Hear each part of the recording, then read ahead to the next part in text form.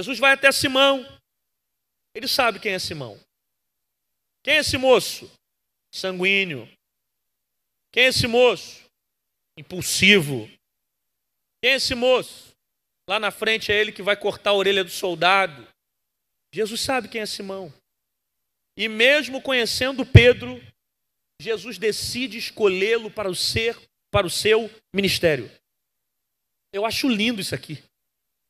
Porque mesmo Jesus sabendo dos defeitos que Simão tem, não impede de chamá-lo para o ministério com Cristo. As limitações de Simão não impediram de ser chamado. Eu acho isso lindo em Jesus. Porque mesmo Jesus vendo os defeitos, os espinhos, Jesus não deixou de escolher a vida de Simão.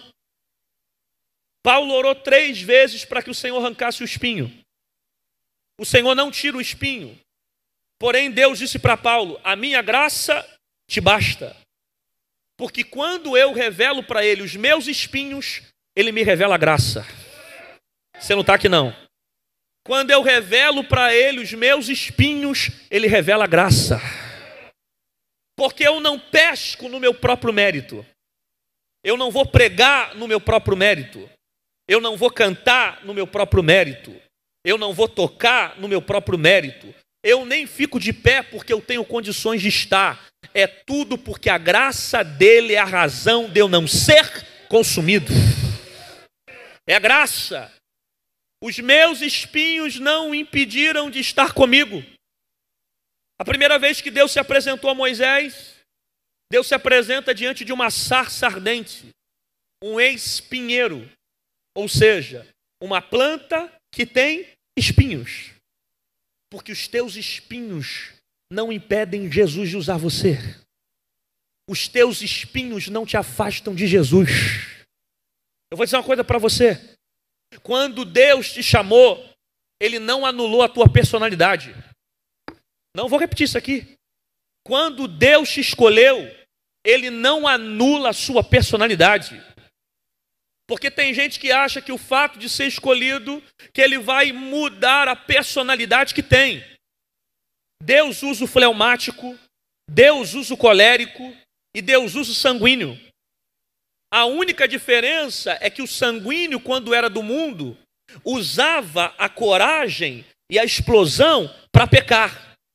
Só que agora com Jesus, você usa para pregar você usa para ir na favela, você usa para falar de Jesus para o mundo, você usa para expulsar demônio. Eu estou dizendo para alguém que está sofrendo por causa da tua personalidade. E Jesus está dizendo: não fique com medo, eu vou potencializar a tua personalidade. A única diferença é que você não vai usar ela mais xingando palavrão, você vai usar para expulsar demônio e para ministrar libertação na tua casa. Ele escolhe Simão, ele entra no barco, e a primeira ordem de Jesus para Simão é essa: tira o barco da terra. Eu vou usar a linguagem bíblica. Afasta o barco da terra. Olhe para cá, pelo amor de Deus.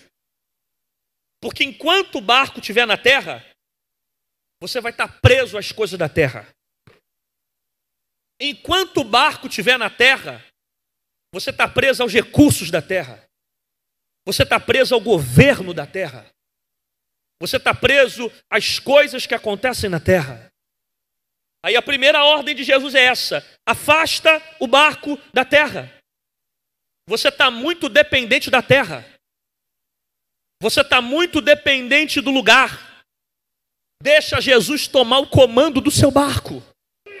Deixa ele te levar para as águas, aonde você não sabe como controlar. Mas o importante não é controlar, é deixar Jesus dominar o barco. Afasta o barco da terra.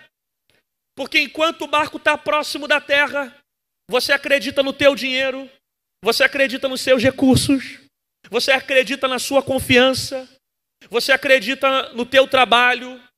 Aí de repente Deus afasta o barco, o chefe some, as pessoas desaparecem, os recursos acabam, a pessoa que te ajudava sai da tua vida, você fica sozinho, para você entender que quem vai sustentar você nessa crise não é a terra, é Jesus. Afasta o barco da terra. Existem momentos que os relacionamentos da terra vão tentar te impedir de você viver experiências profundas. Alguns momentos, Deus vai mandar você tirar o barco da terra, porque Ele quer caminhar um tempo sozinho com você. Porque enquanto o barco está na terra, você liga para amiguinha, chama fulaninho e não conversa com Jesus. Aí Deus vai lá e tira pessoas do teu caminho, para que você passe a ter um relacionamento mais profundo com Ele. E eu estou sendo profeta para alguém aqui nessa noite. Não insista em trazer para a tua vida alguém que Jesus decidiu tirar. Deixa ele limpar, deixa ele arrancar, deixa ele trabalhar nos teus relacionamentos. Não, você não perdeu nada, você teve livramento do céu. Ele está limpando, Ele está lavando, Ele está colocando novas amizades. Por quê? Porque Ele quer te dar experiências profundas. É só você e Ele, com a porta do quarto fechado, orando com Ele de joelho, ouvindo o grito dele, sentindo a brisa entrando no quarto, sentindo a graça passar pela janela. Não tem pai, não tem mãe, não tem amigo, não tem tio, mas tem o quarto homem da fornalha na tua casa, tem o teu homem das mãos furadas presente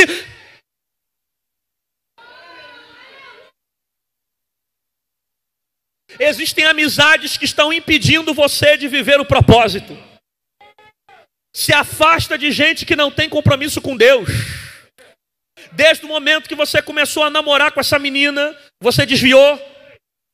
Desde o momento que você começou a conhecer esse coleguinha, você parou de orar. Se Deus não tira pessoas da tua vida, você mesmo se afasta delas. Porque as más conversações corrompem os bons tira o barco da terra. Jesus está no barco, começa a pregar para quem está do lado de fora, e ao mesmo tempo que ele prega para a multidão, ele prega para Simão, que está com ele aqui, ao lado dele, dentro do barco. Jesus está no barco, ele prega para a multidão que está do lado de fora, e ao mesmo tempo ele está pregando para Simão, que está do lado de dentro. Isso aqui é interessante, porque ao mesmo tempo que Jesus está ensinando quem está fora, Jesus ensina quem está dentro. Ao mesmo tempo que Jesus transmite algo para quem está fora, ele está tratando também com gente que está do lado de dentro.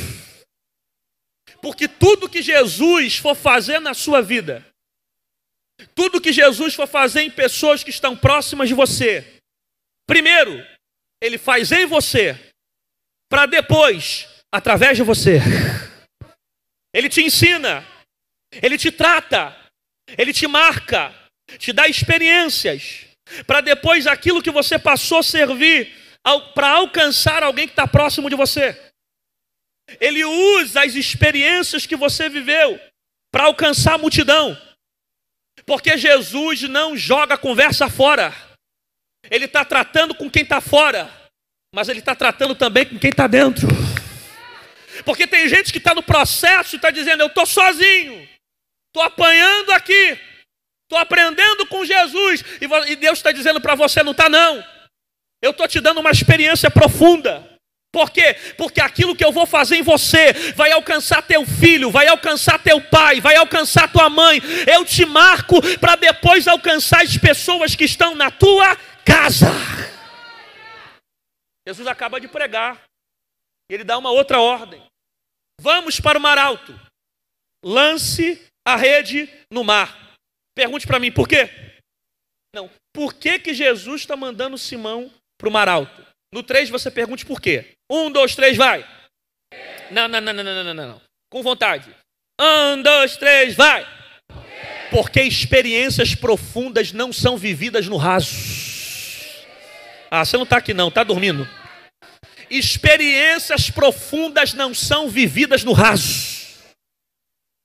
Por que, que Jesus está mandando você para o mar alto? Porque experiências profundas não são vividas na beira do raso, na beira da praia. Experiências profundas são vividas em águas profundas, no mar alto. É Jesus querendo aumentar o teu nível. É Jesus querendo te dar revelações maiores. Pergunte para mim por quê?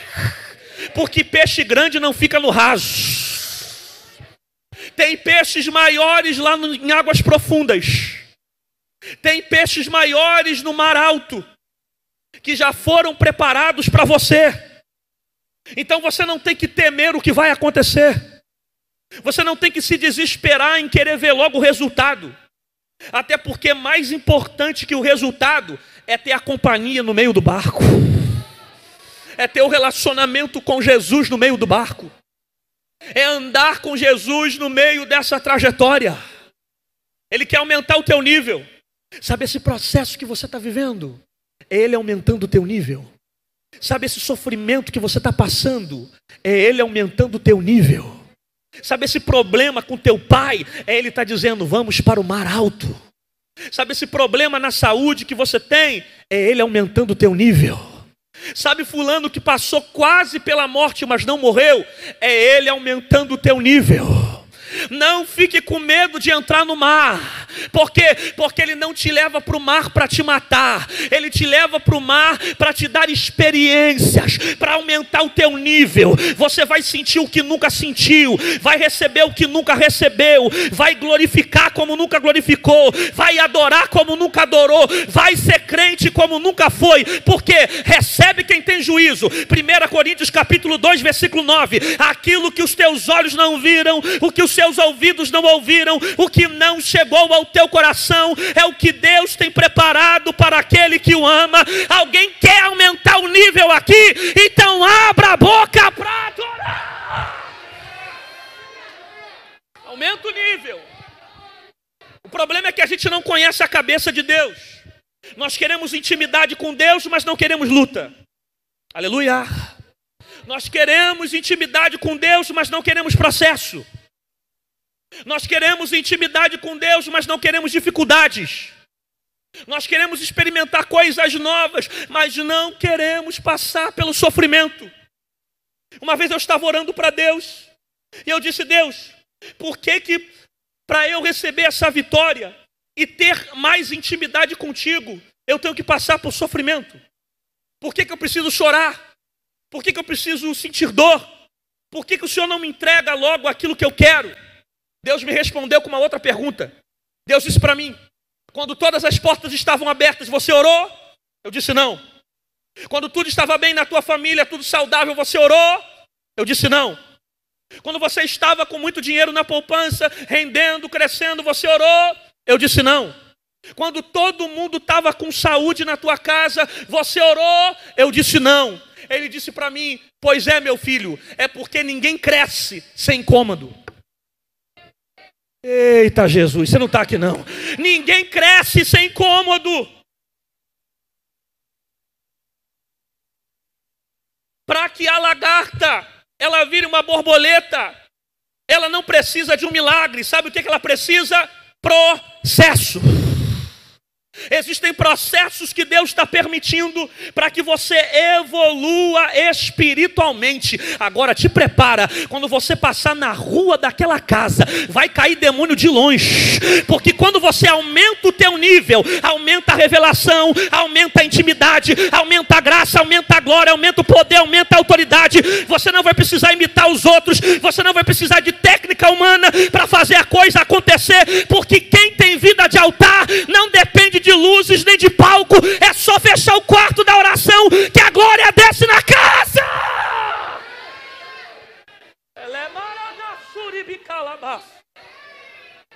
Vamos para o mar alto.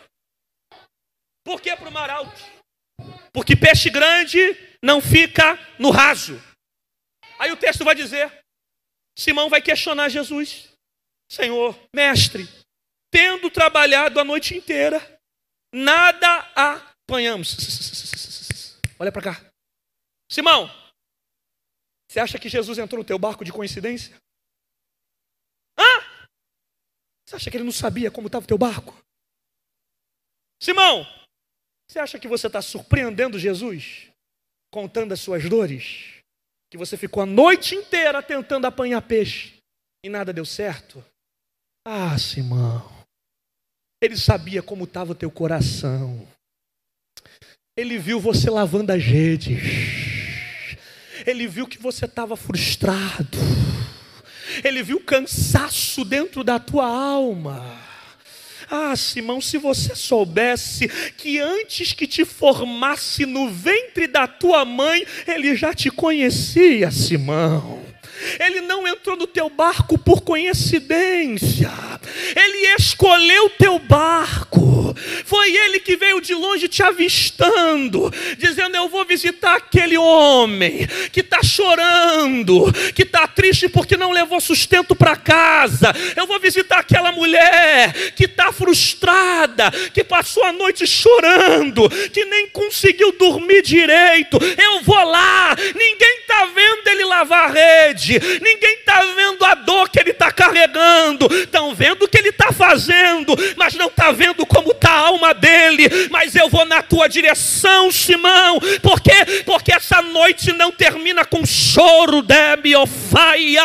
essa noite não termina com lágrima, essa noite não termina frustrada. Eu vim dizer, Simão, para você: tu vai voltar para o mar, vai levar o mesmo barco, vai usar a mesma rede, e o lugar onde você foi humilhado vai viver o maior milagre da tua vida. Alguém pode dar um grito de glória dentro dessa casa aqui? Mas Senhor, eu passei a noite inteira lá. Eu, o Senhor vai fazer eu voltar para lá. Eu estou humilhado. Eu estou humilhada. Sempre passando a mesma coisa. Não vai dar certo.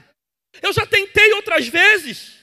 Eu já fui outras vezes. Eu já cansei quantas vezes eu fui para o mar e não vi nada acontecer. Mas a diferença é que aquela vez você foi para o mar porque você quis ir para o mar. Você foi para o mar pela sua vontade. Lançou a rede na sua vontade. Não deu certo. Mas agora você vai debaixo de uma palavra. E é Jesus que está direcionando para voltar lá. Volta! O mesmo mar, o mesmo barco, a mesma rede. Por quê? Porque dessa vez, essa noite vai ser diferente. Eu estou pregando para alguém que está frustrado por causa do mar. Eu estou pregando para alguém que está frustrado por causa da rede. Eu estou pregando para alguém que está querendo desistir por causa dos traumas que viveu dentro do barco. Deus manda lhe dizer: volta para aquele barco, lance a rede, porque dessa vez você não vai sozinho, mas debaixo da palavra do leão da tribo de Judá. Tendo trabalhado a noite inteira, nada apanhamos, mas porque tu mandas. Porque tu mandas porque tu mandas. Não, não, eu não quero ir. Trabalhei a noite inteira, mas porque tu mandas.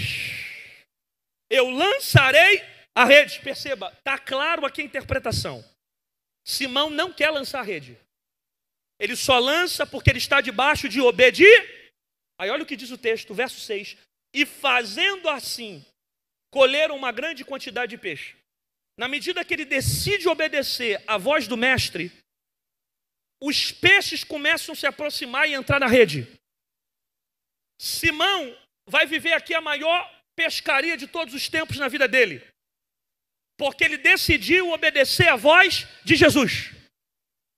Se ele ficasse pela vontade dele, não conseguiria nada.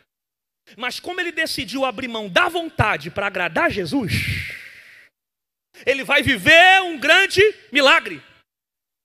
Ele recebe o milagre não pela sua técnica. Irmão, olha o que o texto diz. E colheram. No 3 você grita colheram. Um, dois, três. Não, não, não, não, não, não. Um, dois, três, vai. Pelo amor de Deus, olha para cá. Você já viu alguém colher peixe? Peixe se colhe? Hã? Não se colhe peixe. Peixe se pesca. Aleluia. Só que eu fico arrepiado quando eu leio isso. Porque se o texto diz e pescaram uma grande quantidade de peixe, a expressão pescaram ia dar mérito a Pedro. Aleluia. Só que o texto diz escolheram para dizer, não é Simão que está pescando. O é colher vem de plantação. O que, que ele plantou? Obediência. Quem planta obediência, colhe milagre. Eu vim pregar para quem tem boca para dar glória, fica na obediência, caminha na obediência, planta obediência, que vai ter peixe entrando dentro da tua rede.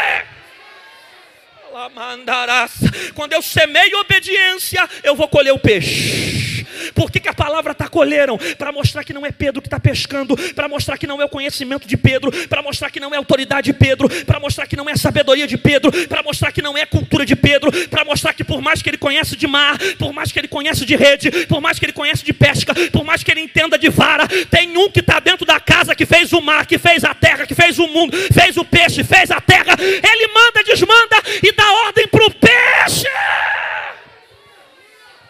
Quando Simão decide obedecer, e fazendo assim, e fazendo a, na medida que ele decide obedecer, o peixe já vem se aproximando na direção da rede. Quando ele coloca no coração o desejo de obedecer, os peixes se aproximam. Porque o texto é claro: não é Simão que está pescando peixe, é o peixe que está pulando na rede de Simão. Aí eu vim entregar uma profecia aqui para alguém e dizer: fica na obediência, que o peixe vai na tua rede, que a bênção vai visitar tua casa, que o milagre vai chegar na tua vida. Só quem recebe faz aquele barulho que o diabo não gosta. Catuca alguém com o ombro, com, com o cotovelo perto de você e diga para ele assim: o peixe vem na obediência. Diz: o peixe vem na obediência. Obedece que Deus manda o peixe. Obedece que Deus manda o peixe. Obedece que o peixe, olha o peixe. O peixe está vindo aí, ó. O peixe está procurando a rede. A rede quem? A rede que obedece. O peixe está procurando. Procurando o quê? Procurando O peixe está procurando. Procurando quem? Quem está em obediência. Quem está debaixo de retidão. Você não precisa ficar bajulando, você não precisa ficar procurando o teu chefe, você não precisa ficar puxando o saco de gente, você não precisa ficar se rebaixando, se humilhando, você não precisa ficar ligando para os outros, tem agenda para mim, me chama, me coloca para pregar nessa igreja, não. Fecha a porta do teu quarto e diz: Jesus, eis-me aqui. O que, que o senhor quer que eu faça? Manda o peixe, fique em obediência, porque porque quem obedece, o peixe vai atrás.